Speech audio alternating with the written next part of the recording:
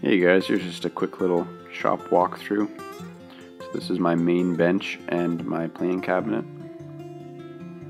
Moving over to my clamp rack, which is actually on a 4x8 door that I can open right up and um, shoot long stock right out there or just keep it open during the kind of the summer months there and get a nice breeze going through. Really opens up the space.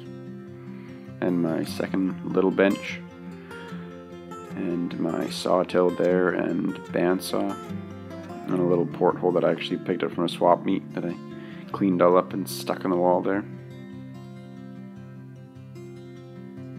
And my door and then I've just got some cabinets right there holding a lot of little turning supplies and chuck keys and all that stuff.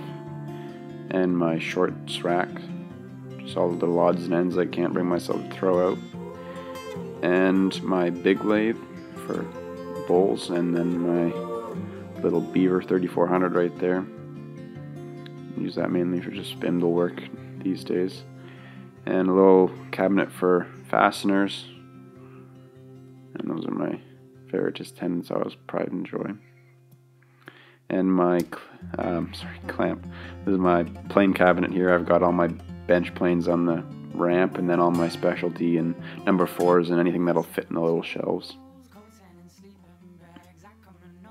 Little custom tool holders everywhere. A couple mallets and all my bench hooks and everything I just keep on the wall. A couple router bits. And back to my clamps and Bessey K bodies. Just a couple pipe clamps. I'm in the process of getting more. And my beaver drill press and grizzly mortiser. And back to little master crap. And my Windsor bandsaw that was actually made in just right over the, the water from me in Vancouver in the 50s by a guy in his little basement workshop, which is pretty awesome. And all my long stock I keep all up in my rafters. I've made some little racks up there. And those big long guys are, what are they? Seven footers or eight footers. Gives you kind of a idea of scale. And there's my whole plane cabinet there and bench.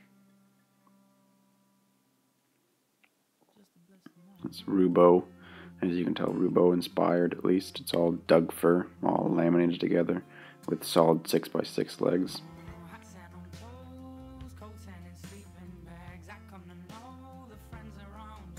My little fastener cabinet. And turning tool rack and my little window that I made also out of Doug fir. Actually got that from a stair stringer at work. Scavenged it, the fir, and then got some panes and made myself a nice little window.